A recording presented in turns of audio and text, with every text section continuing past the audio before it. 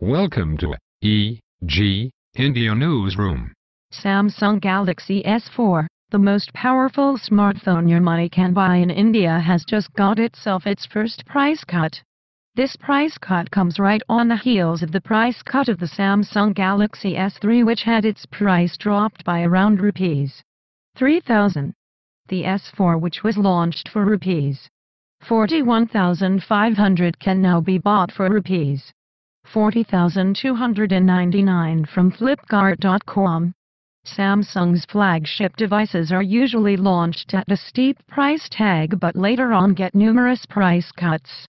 For instance, the S3 which was announced for a price of around rupees 40,000 last year is now retailing at levels closer to rupees 26,000 and the same can be expected for the S4 as well the Samsung flagships lose out on their value over a period of time drastically. It is only the Apple smartphones that somehow stand their ground when it comes to pricing for a long period of time. Getting back to the S4, it is quite a capable device and makes for a really good smartphone even at the rupees 40,000 price point. The S4 has a 5-inch screen which has a Full HD resolution which is 1080 by 1920 pixels and it translates into a pixel density of 441 pixels per inch.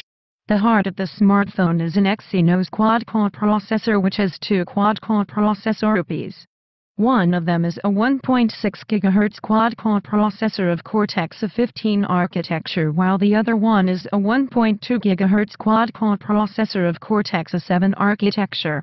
The smartphone gets a 13 megapixel rear camera which is the best in class unit. It also gets a 1.9 megapixel front camera. The smartphone features a 2GB RAM to help it multitask easily and the internal storage stands at 16GB out of which around 9GB is UR accessible. But to help you expand that memory capacity, it gets a micro SD card slot as well which will support memory cards of up to 64GB, giving you enough space for all your needs. The S4 overall is a very good device with a very capable chipset.